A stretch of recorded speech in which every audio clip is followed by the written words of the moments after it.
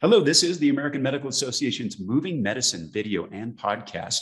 Today, we're joined by Corey Feist, co founder and president of the Dr. Lorna Breen Heroes Foundation in Charlottesville, Virginia, who's going to discuss the recent passage of the Dr. Lorna Breen Healthcare Provider Protection Act and what it means to physicians.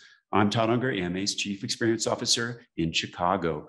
Corey, as soon as I saw the news about this, um, because we had the honor of talking to you and your wife, Jennifer, a couple of times over the past year and a half or so. I just, it, my heart just uh, swelled. And I have to say, I uh, just want to give my personal congratulations uh, the two, to the two of you for what you've been able to uh, bring into this world. Um, by now, I think most physicians are aware of the name of Dr. Lorna Breen, your sister in law, and an emergency medicine physician who was on the front lines of the pandemic and tragically died by suicide uh, in April of last year you know, you've talked about the huge outpouring of support that you and your wife Jennifer received after Dr. Breen's death.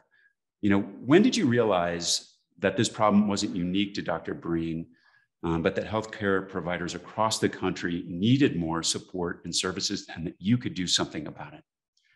Todd, thank you. That's an excellent question. And I just want to first thank you and the AMA for your incredible support through this entire process. We could not have done this without you and without your members. So thank you so much.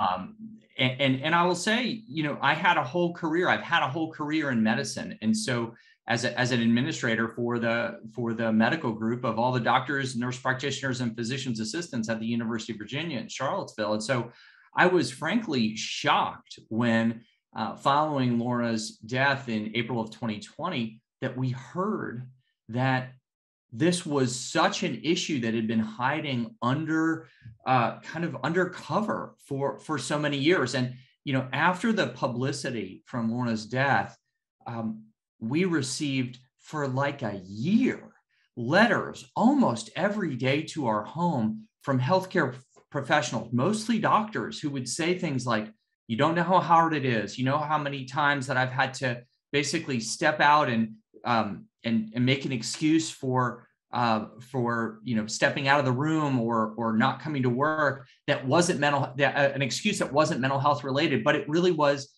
just i couldn't take it anymore or i took a if you look at my cv and there's a sabbatical or there's a fellowship that i took there well actually i was hospitalized but i couldn't tell anybody and so that really fueled our engine towards moving in the direction of first creating the Dr. Lorna Breen Heroes Foundation, uh, dedicated to reducing burnout and improving the well-being of the workforce, and then working with a bipartisan, bicameral group of federal legislators to develop um, the Dr. Lorna Breen Healthcare Provider Protection Act, the first ever healthcare workforce federal piece of legislation. And we are just so incredibly thrilled. You know, Lorna was our inspiration for this work, and clearly her death struck a chord with the healthcare community. But we're not doing this for Lorna. This is in her honor, but really we have done this for the, the rest of her healthcare uh, uh, professional colleagues and friends, and, and really is a way to extend her light and her deep caring for, for those individuals. Now, it's interesting. I'm curious. There are a lot of ways that you could go about uh, making a difference here. At what point did you say, we're going to pass an act of Congress here?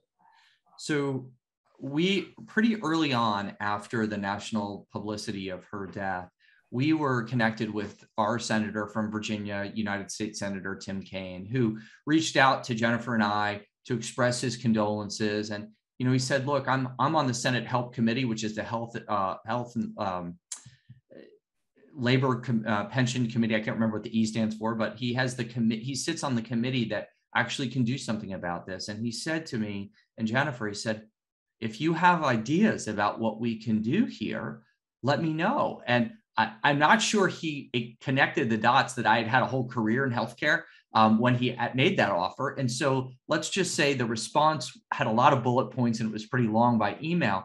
But what it did was it served as the framework working with you know over 70 other healthcare associations and organizations to really develop this first ever um, legislation. And by doing that, by working across parties and across organizations, we felt like the Lorna Breen Act was an excellent first step uh, towards addressing these issues.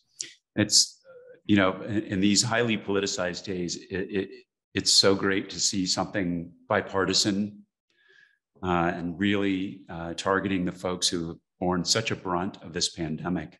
And so that's a big achievement thank you. We we agree, and you know this is there's so many things that shouldn't be politicized, and this is one of them. And and from our beginning, uh, first days, we worked intentionally across party lines. There's probably not a member of Congress doesn't have a hospital or health system or, or doctors in their own district, and so by sharing these stories with them, this became a uh, uh, basically a no-brainer from the perspective of any feedback we ever received from any member of Congress. In fact, I will share with you, Todd, the more that we've spoken, you know, with members of Congress and just members of the public, the issues that that impact our healthcare workforce are a surprise to many, and uh, they also feel like that's completely unnecessary and, un, and unacceptable, just as we do, that our healthcare workforce has to hide behind stigma, can't get the help that they're often prescribing for their own patients. So, um, you know, the the intentionality of the bipartisan, you know, bicameral approach was from the inception because we recognized that this this was going to impact all, and we needed everyone on board to make it to make it happen, and and we've done just that. Yeah, when you see you see those numbers. Uh, sometimes I guess it doesn't connect to the people on the other end of that who are taking care of all those folks and the weight that they carry and have been over the last two years. I know that uh, one of your main goals in getting this act passed was to keep others from suffering uh, the way that Dr. Breen did. And when, uh, one way that it does this is by establishing grants. Tell us a little bit about how those grants work and what they would cover. Absolutely. And we're th- so thrilled because the money's already out. So the Lorna Breen Act has, I'd say, four main provisions. The first two are grants. So we'll talk about those first. Um, grants for uh, the first. The first of the two are grants that go to the future healthcare workforce, those medical students and those nursing students um, that that really need to learn about how to prevent mental and behavioral health conditions, um, suicide, identify burnout, how to mitigate it, and and just look at increased access to evidence-based treatments for for the healthcare workforce so that's the first set of grants. The second set of grants does a very similar thing, but it's for the existing complement of healthcare uh, professionals. Um, in fact, 46 health systems received the money on January 20th, the second anniversary, second anniversary of the first COVID patient in the United States. So 46 health systems already received the money. Um, you mentioned something uh, in there. I just want to touch base a little bit about evidence base and uh, you mentioned too, also people are just not aware of the significance of this particular problem. Um, how how are you addressing that? Uh, part of that is uh, an awareness and education campaign that is evidence based, uh, targeting healthcare professionals. Tell us more about that. Yeah, and so that's the third big leg of the of the legislation is this national campaign, which is established to encourage health professionals to seek support and treatment for mental health and behavioral health concerns.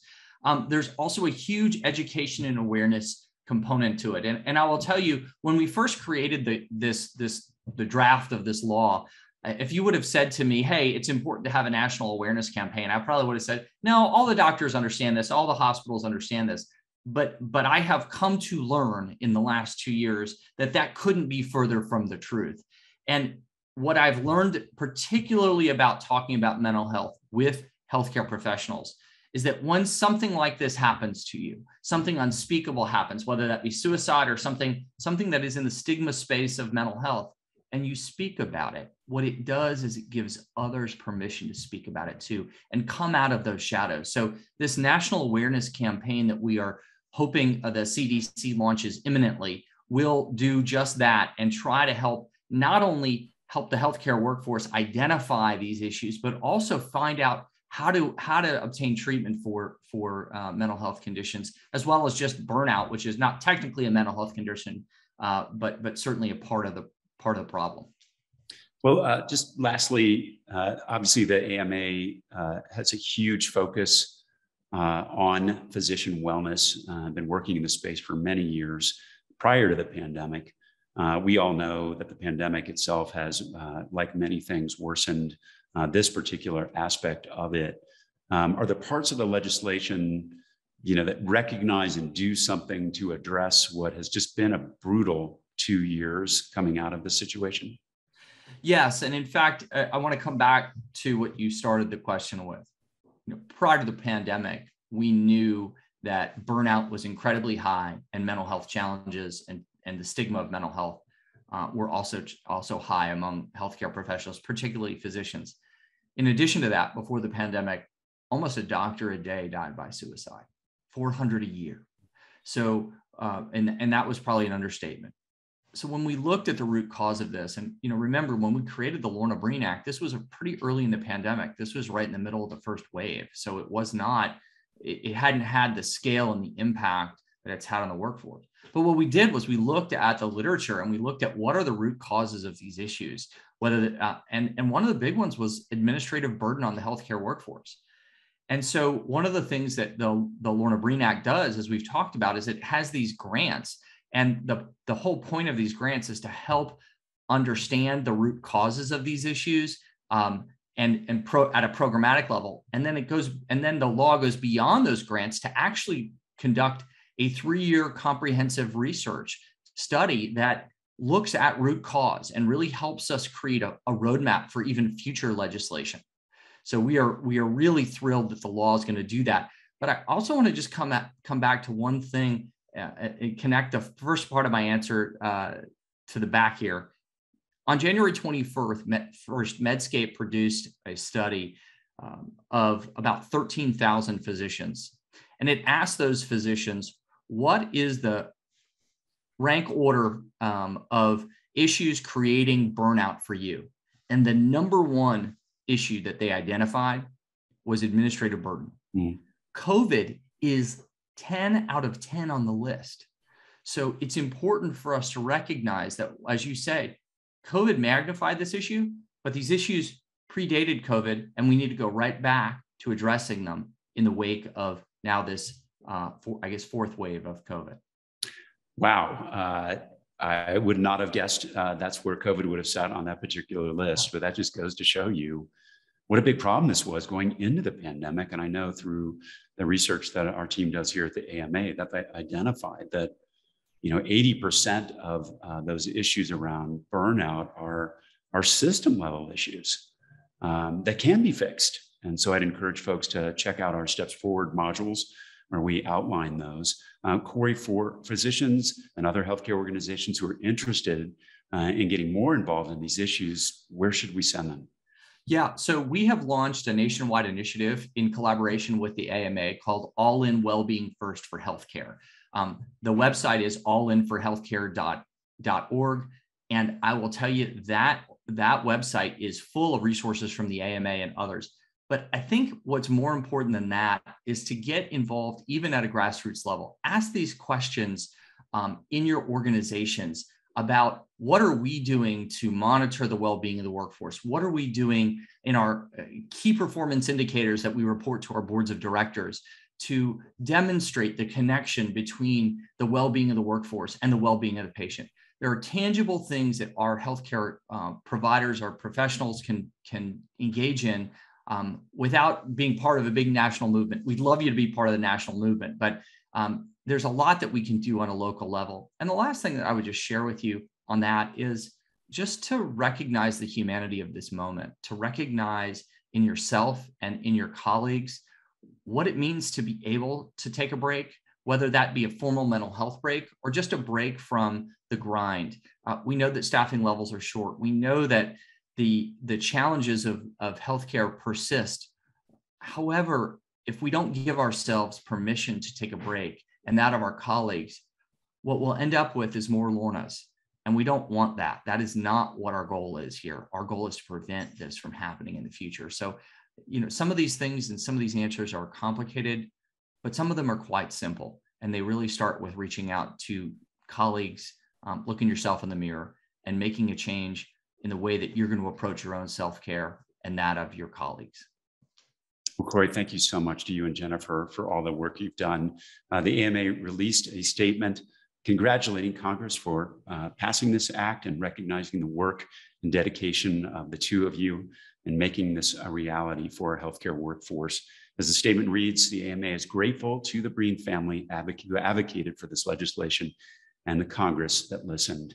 It's a fitting legacy for Dr. Breen. Thanks for joining us today, Corey. Uh, please give my regards to Jennifer. Congratulations again to you. And uh, we'll talk to you soon. That's it for today's Moving Medicine video and podcast. We'll be back with another episode soon. In the meantime, don't miss another great episode here. Make sure to click subscribe on this YouTube channel or check out all our videos and podcasts at ama-assn.org slash podcasts. Thanks for joining us. Please take care.